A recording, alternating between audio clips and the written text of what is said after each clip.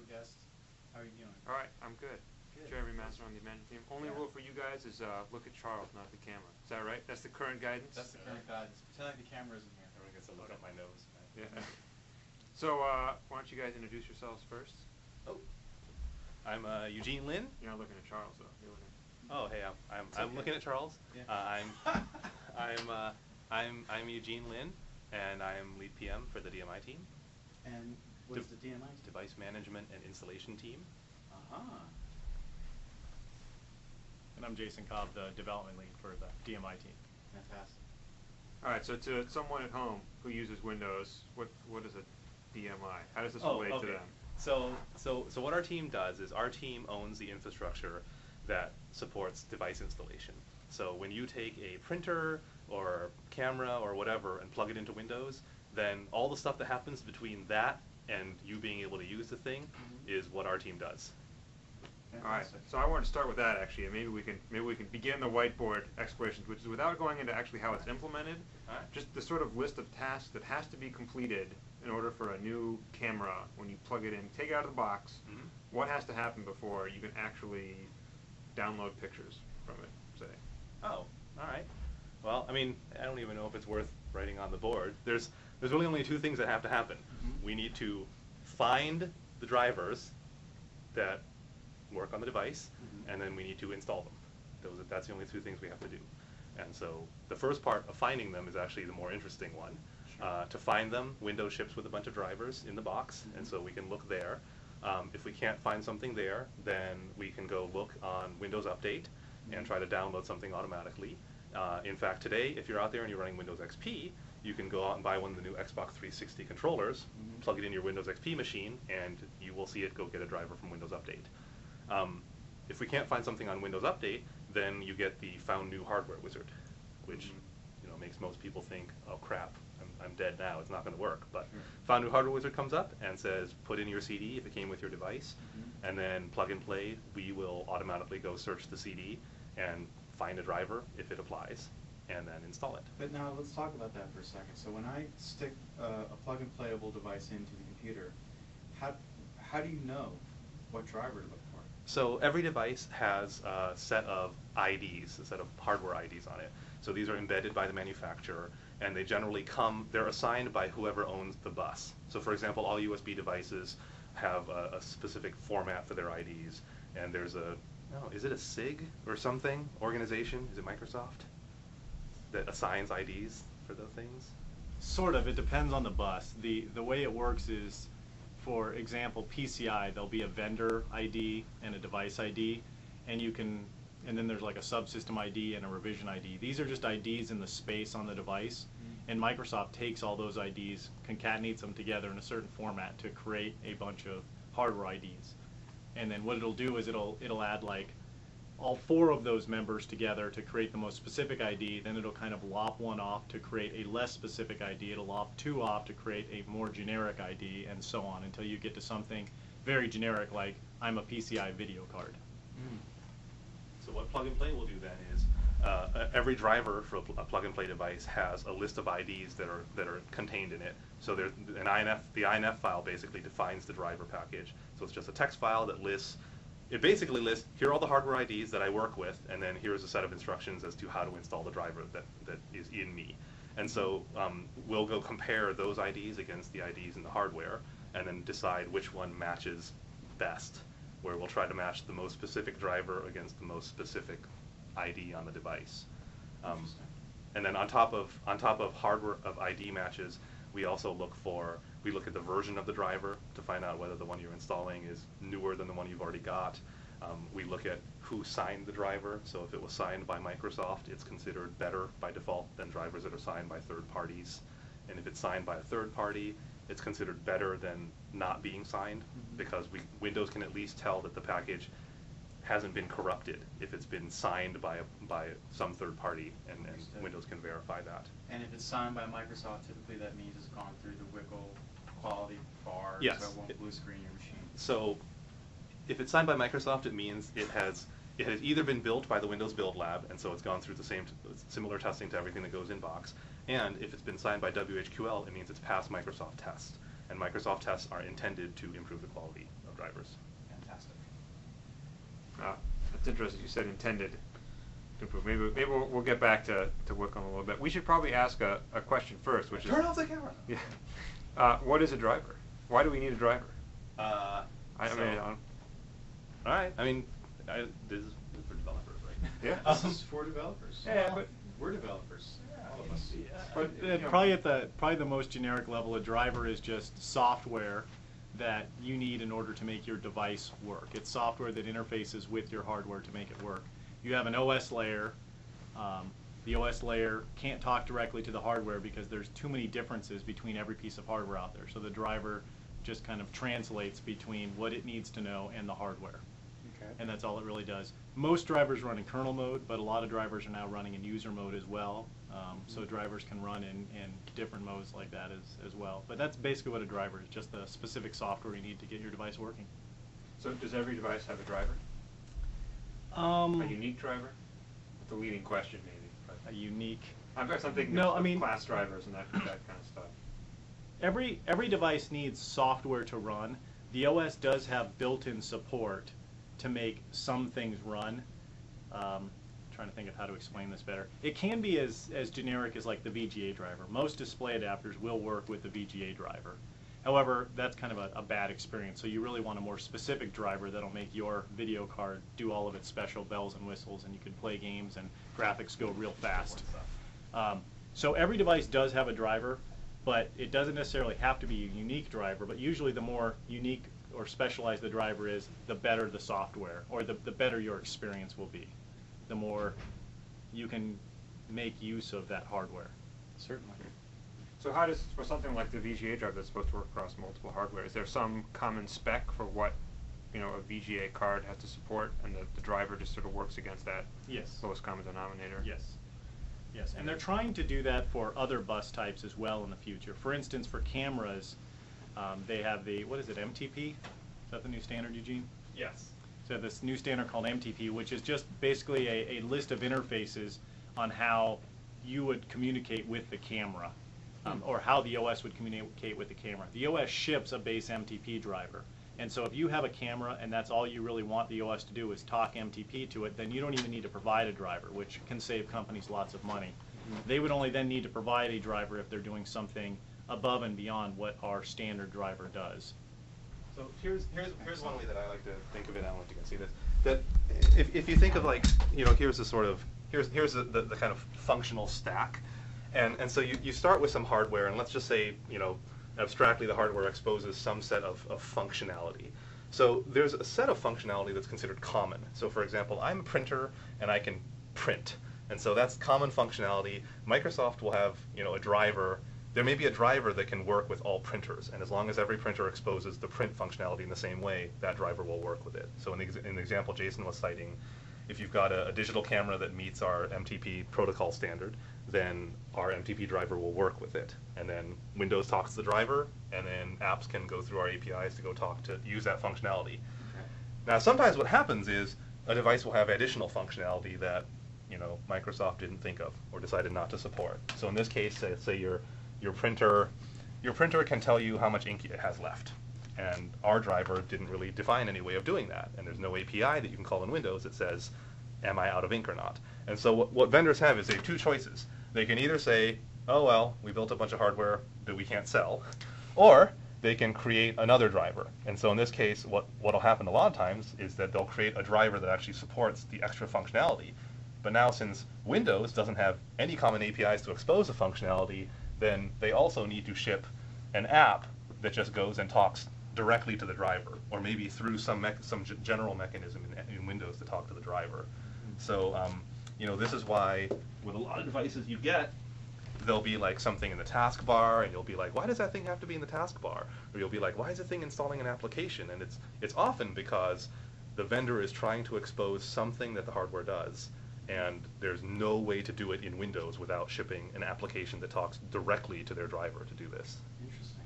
So, but that application is not, that's not a driver. That really is, it's So, a separate I mean, Win32 application. Depending on who you ask, dri- the term driver can mean almost anything. We generally use the term driver to mean it is it is a it is the thing that plug and play installs and loads that is related to the dev node for the device. And for most end users, what driver means is driver means all that crap I can't see, right? It's stuff that got installed that wasn't in the start menu. I don't see anything in the taskbar. I don't see anything on my desktop, so it must have been a driver. And then if anything else shows up outside of that, they go, ah, why did this install this crap? I just wanted a driver. Hmm. And so that's there isn't really a one crisp definition of what a driver is.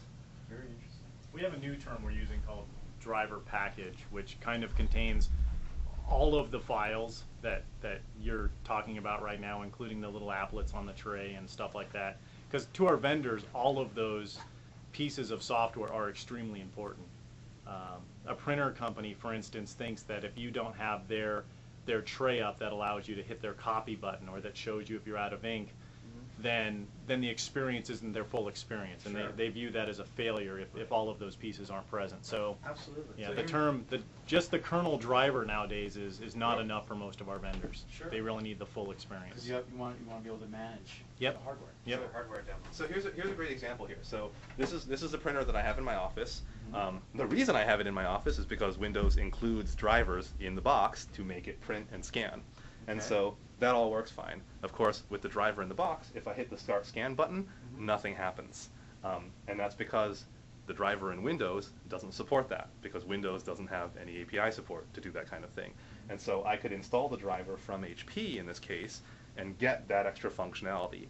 And then there's there's sort of a split in the world of people who feel that uh, if I bought the device, then I should get everything that came with the device because that's what I bought. And then there's another set of people who say, I bought the device, but I want as little software as possible to make that device work with its basic functionality. And one of the one of the big issues we face now, the tension between us and our partners, the tension between partners and customers, and the tension within Microsoft is what's the right trade-off there? You know, what do you what do you do to a user who says that? Um, you know, and, and I kind of see it as like an analogy is if I go to the doctor and I say I want to be faster, right? One doctor is just going to say, well, you should exercise more. And another doctor might say, we're going to replace your legs, right? We're going to put in bionic implants and do whatever.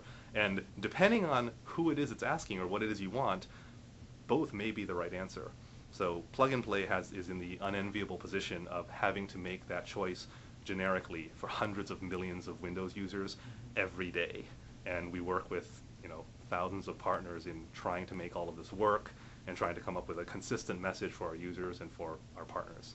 Yeah, And also, you you know, you also do a very good job of, if you happen to plug in a device that doesn't have a driver, Mhm.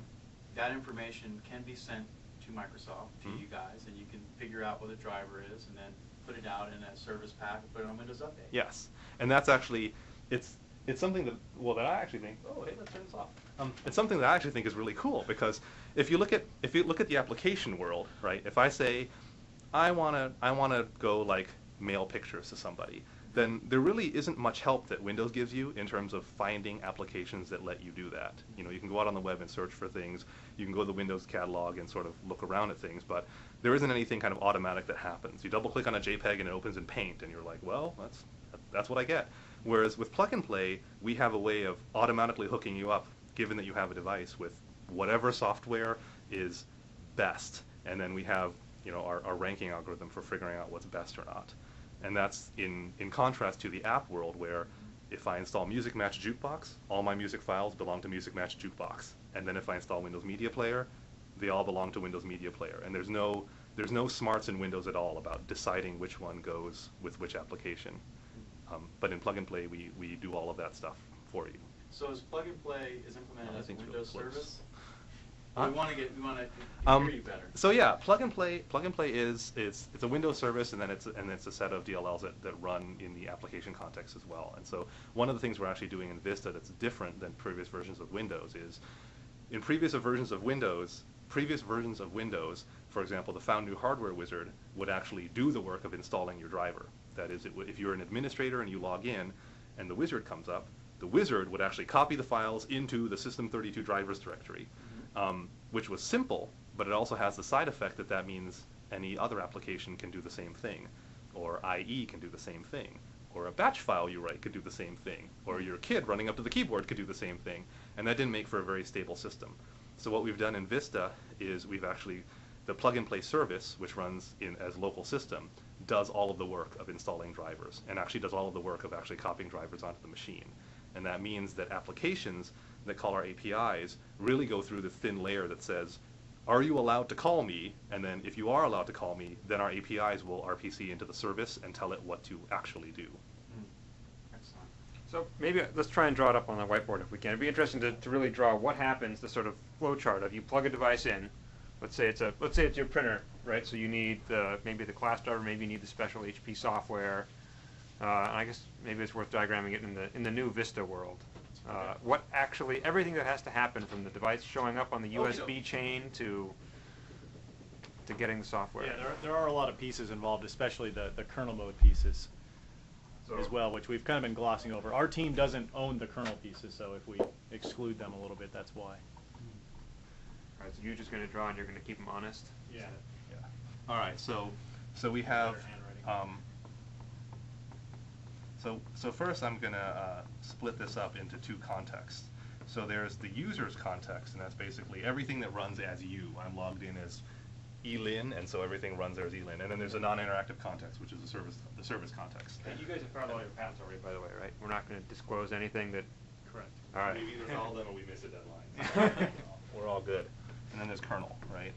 So, um, when a new device shows up, uh, so then we'll say, let's say, let's say, plug in. So this will be time, okay? Um, so you plug in the device, and the first thing that happens is the kernel goes and detects it and does stuff. And here, I'm just going to call this magic, because this is outside of our team. Okay. So magic happens and notifies us that, that there's a new device. And so at this point, what happens is. and, and it tells you the, that whole device ID we're talking about with the vendor string and the class Yeah, name yeah. and So, all. so what happens yes. is the, the, the kernel will actually go, go detect the device, read the information out of it, and then it will go spew some stuff in the registry that says, here's the device ID, here's the bus it's attached to, and then it will notify the plug and play service that something has happened, there's a new device and you should go pay attention. Okay. And so at that point, the, the plug and play service will wake up, and what that, what, what it will do is it will go, it will go search for drivers. Um, so actually, I'm going to introduce a term here. So in Vista, we've, we've added something called the driver store. Um, what the driver store is, it's not a store like Safeway or something like that. The driver store is, it is a, a directory on the disk where we stage driver packages before they're installed. Um, another way to think of it is like, if you're installing Word, then what happens is Windows just copies all the Word files from the CD into the place they're supposed to be in. In the driver world, we used to do that, but in Vista what we do is, imagine that we copy all the things needed to install it to the disk first. Then we'd actually do the install from that location to its final destination.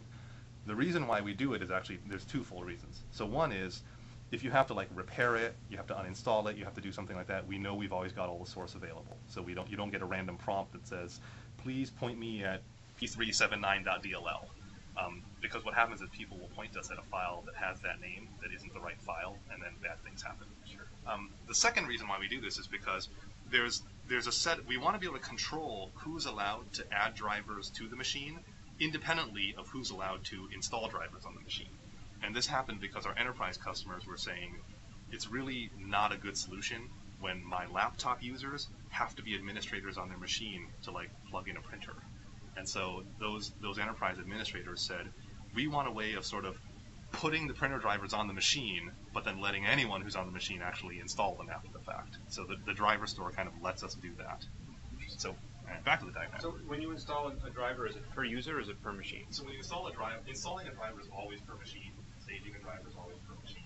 Everything to do with drivers is per machine, um, much to the chagrin of our customers sometimes, but it is always per machine. So, so what Plug and Play does is Plug and Play will search the driver store. The driver store contains it contains this is a crazy diagram. Um, the driver store contains all the inbox drivers, so there's no more drivers.cab. It also contains um, OEM preloaded drivers. It can also contain stuff that your admin preloaded. Um, and so um, these are also actually new things we've added in Vista. So an OEM or an administrator can point at a, at a Vista image that hasn't even booted yet and add drivers into the driver store without even having to boot the image. So for guys like Dell, for example, it saves them massive amounts of time to not have to boot a machine in their factory. So plug and play will first search the driver store. Um, and then if we find something, then we'll actually go do the install. So if we find something, then then we'll install. And what happens with install is install actually creates a new process, um, which is our, our dir inst process. And the reason why we create a new process instead of having the plug and play service just do it itself is because during install, we actually will call out into co-installers. A co-installer is basically a DLL that lives in your driver package that has arbitrary code that we will run in the local system context. And so, as you can imagine, because this code comes from outside of Microsoft, we can't really, we wouldn't have a good design if we just assumed that that code was always perfect. So what we do is we, we launch this separate process and we launch our installer in there, and, and all of the calls into the co-installers happen within this process. And meanwhile, this guy makes sure that this process has been running for less than a timeout. So we have a timeout that's like five minutes now. And, um, and what that timeout is there for is in case something goes wrong and that installer process hangs, then we'll just kill it so that your machine actually continues to work. Um, if we didn't do that, what would happen is any bug in a co-installer would mean all the plug and play would stop working on your machine for the rest of the time. And so we wanted to So- avoid that. Why not, why aren't you running it on a different thread?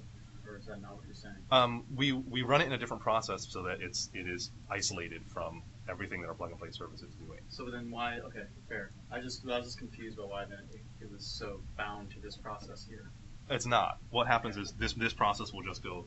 This process actually just goes and launches this process with a command line that tells it Ah. what to go install. So, Understood. so that's it. And by the way, no one else should ever do that. our service should be the only one that ever does that. Um, so if we Can you can you protect against that? Or what happens if a user just types in drvinst.exe? Uh, it has to be running in the system context. So we do so- we do protect against that way.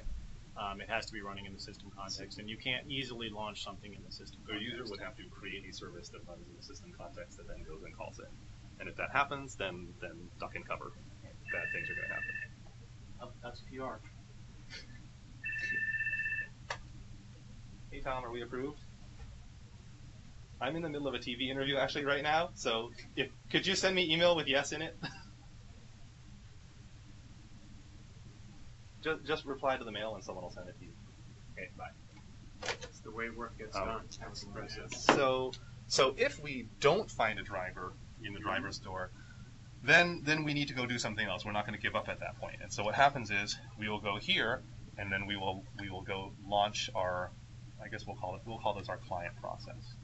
Um, and so what our client process will do is it will go look in a couple other places. So it will go look in a thing called device path. So device path is uh, it's something that's been there for a while. It's a registry key that tells Windows, uh, it points Windows at a number of directories to go look for drivers in. So in previous versions of Windows and as well as in Vista, an OEM could also just like create a directory, you know, C slash drivers, put a bunch of drivers in there, and then set the device path registry key to point there. Um, a, a common usage of it is in small business scenarios.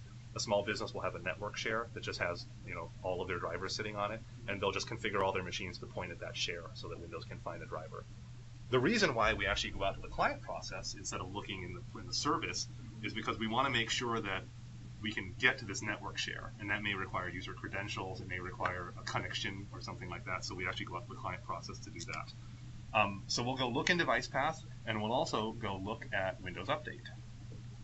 Again, Windows Update is this is totally configurable. You can configure Windows Update. You can configure Windows to not go to Windows Update. You can configure it to ask you before it goes. You can configure Windows to go to a, a corporate a corporate uh, software update service, a corporate SUS server instead of Windows Update. But we'll go check Windows Update and try to install something. If we find something at this point, then we will go back down into the service and do the install.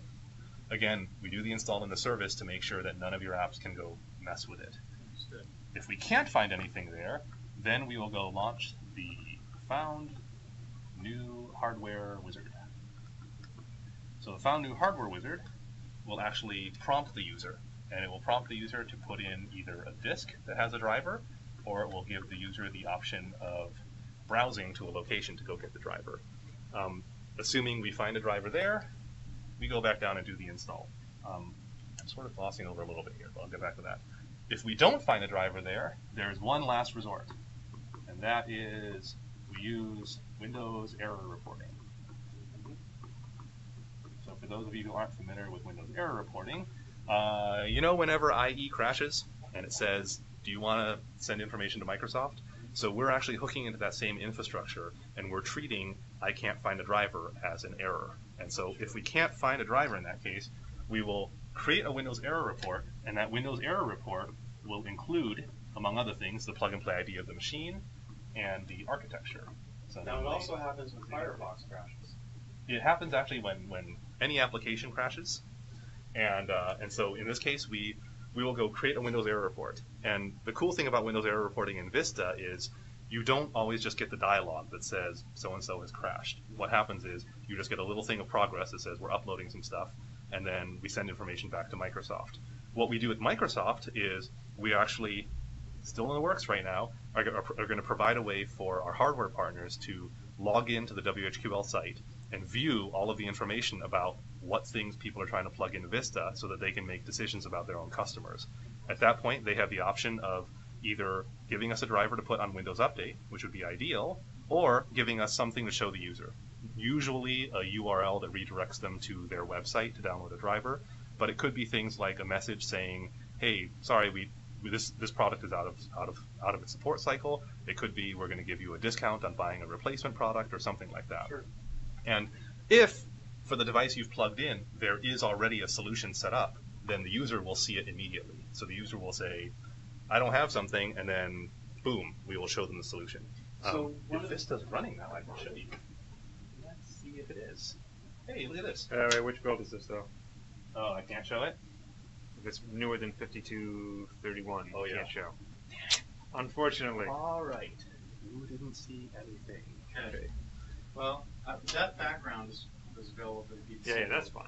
So All right. we're not cutting that out. We can't. We sadly cannot show the new Yeah. partners We don't of like the to show. edit on some- So much cool stuff behind there. but you're Absolutely. missing it. But just wait. Okay, so so this is sort of how install works, but I'm actually I'm sort of missing a part here. So so in this case, the driver's already in the driver store, so we can go do the install. It would be very dangerous for us to attempt to install a driver that is sitting out here on a CD or somewhere else. The reason why that's dangerous is because so I'm a user, right? And we have to assume that the user is doing all kinds of bad things. The user has 20 pieces of malware that are constantly trying to kill their machine. The user has a web page open to the head of the Communist Party and that's monitoring everything that's happening on their machine. And so we need to make sure that our install process doesn't get corrupted by anything that's happening in the user's context. Okay. So what we do is there's actually two places. So here or here, um, there's a step that I missed, which is add the driver to the driver store. Sorry, I'm left-handed, so I block No everything problem. the right. Watch the hand. So, um, in, in, in cases where we find a driver, but the driver is not already in the driver store, the first thing we do is we actually add the driver to the driver store. Then we go install it from the driver store. And so, adding the driver to the driver store actually turns out to be um, a way more complex process than you would think it is. All right, wait, wait. Uh, got the diagram was gone. But one thing I wanted to ask on that last diagram was co-installer. What's what's an example of why Okay. someone would need a co-installer? Okay, so an example of why someone would need a co-installer. Um, so one example is this. Um, if I'm installing a device, let's say I'm plugging in, l- let's say I have, let, let's make up a new device category. So I'm installing a device that is a, a, a heart monitor, right? And, and in that case, Windows does not have a standard heart monitor API. There's no standard heart monitor class driver. You're totally out in the weeds here. And so in this case, if I'm a partner doing that, then I can write a driver that sort of drives my heart monitor. But the thing is, is, ooh, look at Charles. Okay, so um, I can write a driver that, that drives my heart monitor, but We're looking at Jeremy.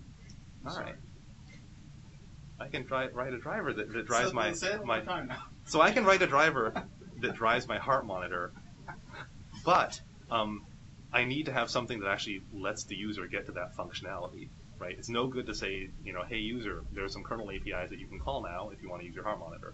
And so an example of one thing you might want to do is, let's say there's there are a bunch of applications out there that already look for heart monitors, and those apps might already be on your machine. But one thing you may want to do in your co-installer is check to see whether the application's there, because maybe you need to tell it. You need to set some setting that says, I'm a heart monitor and I'm available. So that's a case where you would do something with your co-installer, or you could, because there's there's nothing in plug and play that kind of supports that operation. And so you would provide a co-installer that goes and does that work. So you're just giving OEM, uh, ISPs, driver companies, the ability to inter- implement an interface, uh, install interface, and then jump into your install process and add their own custom code. That's what you're saying. Yes. Um, plug and play at its core really says, based on this hardware ID, copy these files, copy these registry keys, and set these properties. And if there's anything you have to do outside of that, then the co-installer is kind of an escape hatch to do that. Sure. Um, you know, we designed the mechanism back in, uh, correct me here, Jason, if I'm wrong, Windows 2000, was it, that we introduced co-installers? Yes. So in Windows 2000, we introduced co-installers because partners said, you know, there's some things here I can't describe in terms of copying files or setting registry keys. So we introduced co-installers um, in a sort of ill-fated decision that said that co-installers run just like our code. A co-installer could do anything that our code does. A co-installer runs with all the permission that our code runs in. And because of that, we're actually very, very careful about situations where people have to use co-installers, and we'd really like to eliminate those if possible, because co-installers are, are something that could actually cause an install to fail that are out of our control. So how do you um, give a company like, let's say I, I write a printer driver, how do you give me the flexibility to say, well, I want to do much more than you're doing in your installation? So I don't Often, like, often what we found is there are things that, that partners will do with co-installers that they actually didn't have to do in a co-installer. One great example is a common thing that we've seen in Vista that people will try to do with their co-installer is they'll have they'll have two devices and they'll have a device that, that really looks like two devices to Windows and they'll have two different driver packages. What they'll do is they'll have the first driver package installed and then they'll have a co-installer that goes and tries to find the second driver package out on the source media and then copy it to the machine manually. But we actually have a directive in the INF that lets you do exactly that. You just have one line that says copy inf equals and then the name of the other package, and plug and play will do it all for you. And so we've had to, we've gone to a lot of these partners and said, hey, it turns out you didn't have to write all of this code and you don't have to have a co-installer that does this. We already have a mechanism there for you. so brings up an interesting point. What is the, the anatomy of an? So an INF is an INF is kind of so format wise, an INF is, is pretty archaic. Um, Is it, is it worth trying to bring one up to look at? sure, sure, sure. Should we So um, hide your desktop for a second while you? Uh, Can you uh, turn? sure, sure. Let me. Uh, Wait. That's How about we talk about the history of the INF file? Because they've been around for quite some time. Or, or well, INI files have been around. And INF is a flavor of INI. is that right? Yeah, yeah. INFs, INFs predate me at, at Microsoft. I think they actually came about in Win 3.1. You can install some device drivers and INFs. They really took off in starting with Windows 95, where that's how all plug and play device installs would happen is through INF files, and they've kind of grown since then. But how how an INF looked in Windows 95 isn't that different from how an INF looks today, and it, it's pretty interesting. We always think they're so archaic, and we always bring up to the vendors, you know, once every OS cycle, hey, should we come up with a new format? And they say absolutely not. You know, we know INFs, we understand INFs, they work back a couple OSs, we like them, just keep them. So as much as we would like to come up with something new, you know, the, the vendors love them because they, they they know what they are now and they happen to work for the last couple OSs. And then theoretically, so what that means is you could have the same INF work on 2000 and XP. Yes. Yes, which is very important to all of our That's stars. Does INF always mean a PNP install file, or is there, are they used in other ways? you can use them in other ways, but that's kind of going away more and more in Vista. You can use an INF just to copy files and make registry settings and stuff like that, but you would more than likely use MSI or something a little more robust than, than INFs. Um, INFs were originally designed to set up the OS and to set up device installs, but they do have some generic APIs that anyone could use if you want to. But I wouldn't really recommend people do that. It's much it's much harder to debug than using something like MSI or Install Shield. All right, Okay. we're up. So let's take a look at this INF here. So this is this is one of the it's an INF that is actually included in Windows XP. Um, you'll see that it refers to Trident because it actually was authored at some point by Trident Microsystem to support their hardware. So here um, in the, the first part, what you'll see is an inf is split up into sections like any any any file. So the first section is a version section. This tells us generic information about the package.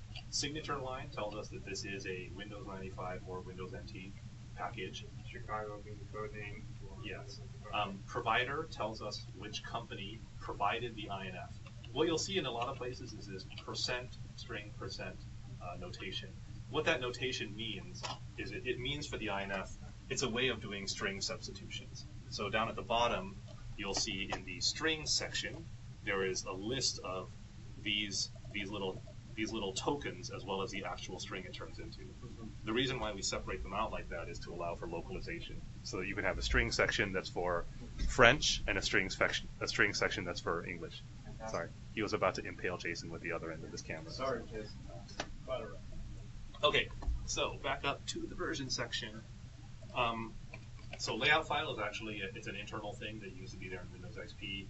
It was one of the weirdnesses about inbox drivers, so we, we fixed that in Longhorn by getting rid of it, or Vista by getting rid of it. Um, class and class GUID tells us it tells us the, the, the setup, the device setup class of a device.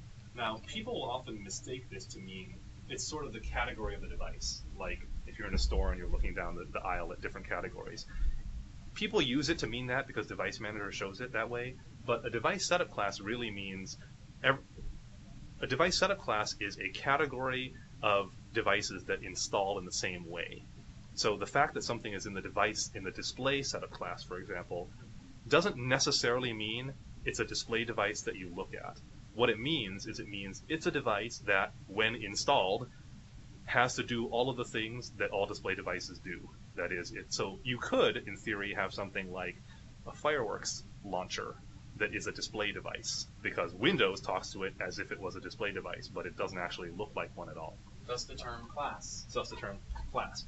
And there's actually two things here. So there's a GUID, which identifies the class. Um, Microsoft defines a set of system-defined class GUIDs, and but but vendors can also add their own. And then class here is just sort of the friendly display name. Um, one thing you'll notice is why is it that the INF specifies both of them? Shouldn't there be a way of associating the name with the GUID one time? Uh, the answer is yeah. If we had it to do over again, we wouldn't have done that. But that's the way it works today. Driver ver tells us the version of the driver. Um, you'll also see that there's, in addition to the standard um, sort of crazy multi-part Microsoft version, you also have a date. Um, the reason why we added the date is because that was a lot, a lot harder to mess up. And, and we actually have cases where partners would come to us and say, we accidentally set our version to the maximum possible value. So mm-hmm. we, we, we added the date as a way to validate very easily whether somebody was doing something wrong or not. And so plug and play will actually look at the date before it looks at the other version part. The dates are also valid between different companies. Every once in a while, you'll get, for instance, there could be a Microsoft driver inbox for the Trident video card, and then Trident could have shipped one themselves. And in those cases, Microsoft's versioning scheme could be very different than, than the company's versioning scheme, where the dates are always the same. If mm-hmm. Microsoft released its driver in November 2000 and you know the third-party company released theirs in November 2001, we'll choose the newer one. It's a way to span across different vendors. So the next section you see here is called destination dirs. What this tells what this tells Windows is where should I put the files that are listed in this INF. So default is it tells us the default place to go. And in fact, that these numbers here are, are kind of redirection numbers that tell us where to put it. So in fact, I'll bring up the uh, MSDN article here. So there's an MSDN article called Using DIR IDs. Got everyone? Everyone use MSN search to find this. So you find using DIR IDs, and this thing actually lists all of the number values we have and what those mean. So if you want to copy something to the Windows directory, please don't say C colon backslash Windows. Use percent 10% because that will Windows will make sure that that always points to wherever the Windows directory is. So we've got that for a number of common directories that drivers have to write in. So, yeah, so in this case, you don't use percent in the destination DIRs because the way the format works is, is we're expecting one of those numbers. So um, this also this tells us that everything in the section called tridxp.miniport should go into the, the drivers directory, and then everything in the in the section named this goes into the system directory. Um, next, we actually get in kind of the meat of it. You can think of it think of it as a tree. So you've got so what you have is you have a list of manufacturers, and then under each manufacturer, you have a set of models. I guess I should just say this.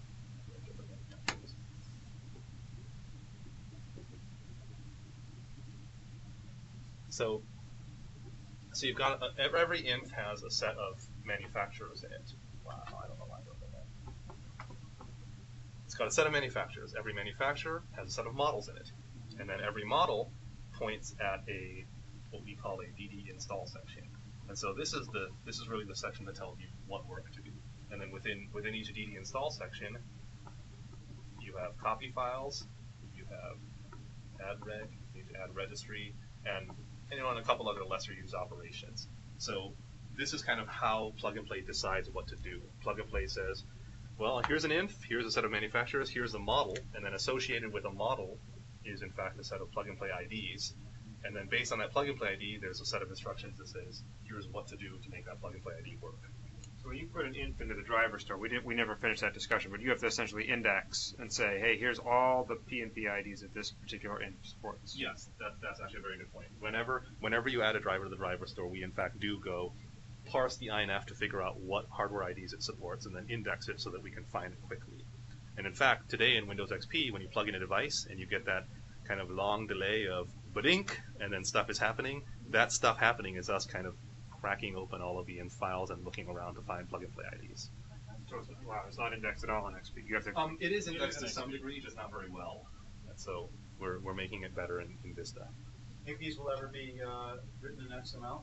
Um, it Uh, that goes back to the other discussion about what's. Well, the- yeah, that we- would be yeah. nice. Yeah, it, we thought so too, and we asked vendors, and it was pretty much a unanimous no. We were we were quite It surprised. It took them long to get those regular expressions all fine tuned. Exactly, exactly. Okay. So you can see that the manufacturer section has kind of the name of the manufacturer, and that points at, a, at the models section. So the model section here is named this. So plug and play says, oh, here's the name. I'm going to find a section that has that name. Now that section contains the, the display name of the device, and then the name of the DD install section, and then the plug and play ID that that model belongs to. So now let's say we're going to go down to the install. This one's, just so we understand, this one's set up and says, hey, even if you have these devices different, yeah, they're, so Yeah. they're- they're slightly different for whether you, what machine you have, but the driver is the same. Right. Both of them. Right. So what this does is it's two different devices, and the reason why they define two different ones is because there's one that is the should be named Toshiba and one that should be named HP. But both of them, in fact, point at, do exactly the same thing. They both point at the TRID XP install section. But it was actually very good of the vendor to create two separate IDs here in case in the future they ever had to do something different on a Toshiba machine versus an HP machine. Right now they behave the same, but if HP needed something special done that required a separate driver, they would have been screwed if they used the exact same ID for both vendors. So it's very good that they did that. Another way to think of it is if you've got five kids and you think you're always going to treat them exactly the same, you give them all the same name. And then one day you decide that you want to do something for kid number one, but he doesn't have a different name, and so there's no way to call him. That's that's why we want everyone to have different plug and play IDs. So uh, now we go down to the DD install section here, and this thing has one line which says copy files equals blah. What the copy files directive means is go to a section named this and copy all those files. So you can see here that this section says copy this file, and then this section says copy this file. So we will find those files and copy them into the destinations that were specified up here in destination DIRs. Um, you'll also see that there are there's a service a services section. So what plug and play does is plug and play says, well, my DD install section was named TRID XP, so I'm going to find a section that's called that name dot services, and this means this is the the actual kernel mode service that gets installed for that device. And so here you can see the name of the service, some flags about how the service should start. Two in this case means it's a plug and play device, and then pointers to sections that tell plug and play what to do. Is it common for a driver to need a service? It's actually most drivers do have services to set up like this. So what will happen is, in fact, on a Windows machine, if you go take a look, uh, if you go take a look at services, then you will actually find it. I'm not going to find the, the TRID XP service here, in fact, but I will find other ones. So, um, uh, actually, I guess I don't know the names of any of the services on this machine that drive driver devices, so never mind. But You won't see them that. It's just thirty-two. Ah, okay. So services actually date a little. I mean, a little history back when NT first started. Everything was a service. Um, kernel mode services ran devices, and user mode services were also available as well. when plug and play came around, it still kept the service. It, it still kind of used the services. That way, it was easy for kernel mode to load plug and play drivers or legacy drivers the same way by always looking at the service key. Although, if you were to design this today, you wouldn't necessarily need a service. You just you would copy the file, and we would just know what file it is that gets run.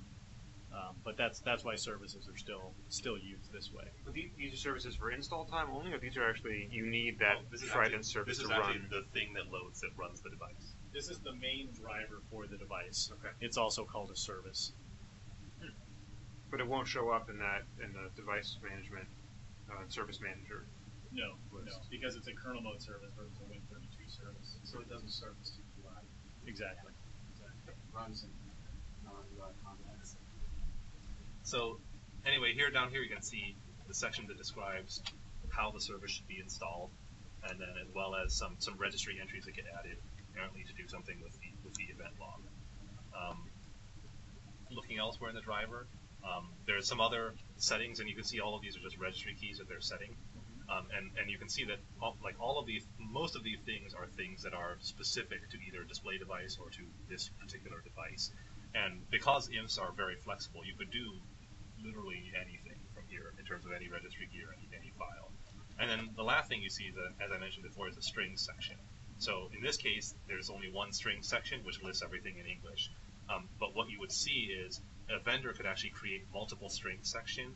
Each one, a string section, for example, would look like this, where this is a this is a, a language, a locale ID, in this case English. And what plug and play does is plug and play will find the string section that matches the language you're running in, and then use those instead of using the default one. It'll use the default one if it can't find anything that matches. So uh, that was a That's very interesting. very fast overview of what an INF file looks like. Alright, So what else do we need to know about how the device gets loaded? We didn't talk about the extra software, like if, if you if you're talking about your Right. HP scan now button. So one of the things, one of the things that we're we've actually debated a lot inside Microsoft, and one of the things that we have not, we don't feel that we've really solved well yet, is this question of what what is it that Windows should do when you plug in a device. So there's, I'll, I'll draw kind of two different cases here. So in one case, I've got I've got my, uh, you know this really cool thing. In this case, we have Microsoft hardware created a keyboard that has a fingerprint reader on it. And so Windows does not have a generic driver for keyboards that says I can drive a fingerprint reader.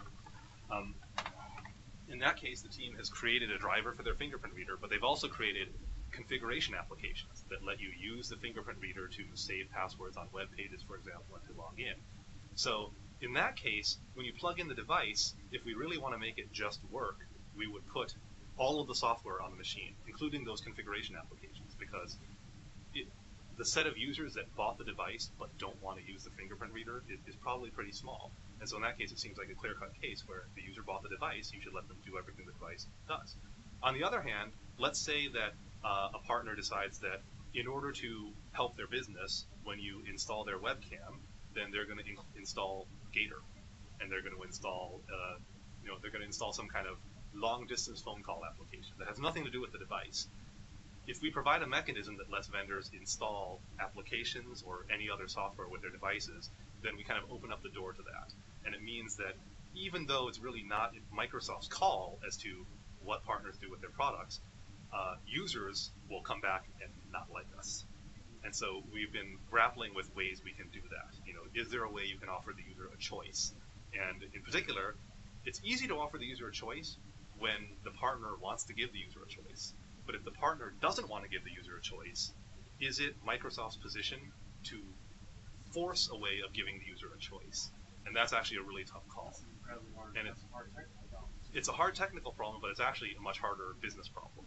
And so we, we've been wrestling with technical ways that we could solve that, but there's a lot of business work and a lot of legal work that has to happen to settle all of that. And, and because of that, as much as we want to be in this world where everything you plug in just magically works, um, there's really no good definition of what just works means.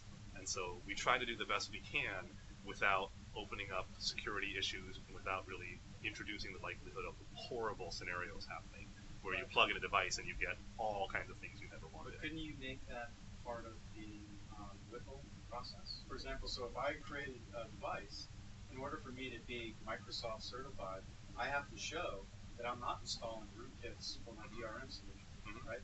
So, For example. for example. For example. So, uh. No one would is that ever do that. Of course not, but that's just an extreme example. I'm definitely not reading the brand name on this camera. Okay, so, uh, oh, well, Bing, cool. So let's speak to that. Um, so what, what are some of the, let's talk about the technical solution now that we brought up rootkits and stuff like Okay. that. But let's, what, what is the technical solution to a problem as though that you just, Okay. Well, actually, I'd like to go back to the point you mentioned about Oh, WHQL before. sure. Why can't Why can't WHQL test together? Okay. So there's actually there's two issues. So one is um, while while WHQL is something that we encourage partners to go through, it's not something that every partner does go through. Define it quickly. Oh, sorry. So WHQL stands for Windows Hardware Quality Labs. The, a couple years ago, um, what was happening is Microsoft said, "Wow, we're, we're letting all of these partners write drivers and write applications that run on Windows, because they're drivers, but there's a lot of them are really low quality. A lot of them are crashing. A lot of them are making Windows look really bad. And so our users are saying, we would like to have some way of knowing that this is better, kind of like the FCC for your radio, or kind of like the you know uh, underwriters laboratories for your le- electric devices. So Microsoft introduced uh, this lab as a way of, and, and then introduced it with the Design for Windows logo program. And the idea was, if you buy a device and it's got the little Windows flag on it and it says Design for Windows, it means Microsoft has done some testing on it to make sure that your device is not going to harm Windows and it's going to function well. So, a lot of people ask, why can't that? Why can't that program just solve all the problems in the world? So the first issue is, is you need to have a reason for partners to go through it, right? If I'm a partner and I have a choice between I can ship whatever I want, or I can only ship the thing that Microsoft lets me ship, then I have to have something that balances out that cost. So that, that's a tricky issue that we've been working, that, that we and the, the, the team have been grappling with. The second issue is, is how do you actually test it? Because what we're really doing is we're taking partner binaries and we're just running them. And so it's very hard to test for things like, you know, what if you've got code that, you know, on a machine that is named this on the 4th of July, five years from now, it's going to blow up and do something harmful to your machine. And without asking for source code from all of our partners, which we can't do, we don't have any way of guaranteeing that we're preventing any of that bad behavior. So you just have to have faith in, the device manufacturer that they're not going to harm. Right, and luckily, you know, in in in a, in, a, in capitalism, vendors who do horribly bad things don't survive very long. And so we do rely on the market in some cases for things like that. Especially in this, the day of the blog. Right? Yes. Quickly gets out there. So I just want to quickly mention that we are at T minus seven minutes left.